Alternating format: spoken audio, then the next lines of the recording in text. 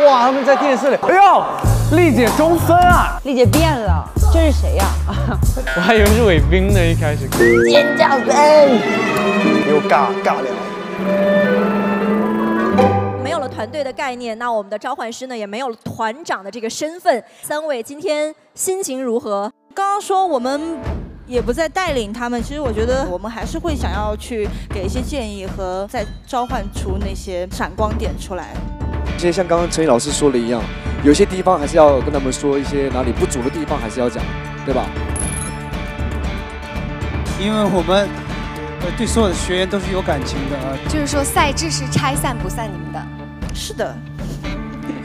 我隐隐担心我们组的两个，一个是洪雨雷和王南军，因为他们都偏内向。就是老师还没有意识到我转型了。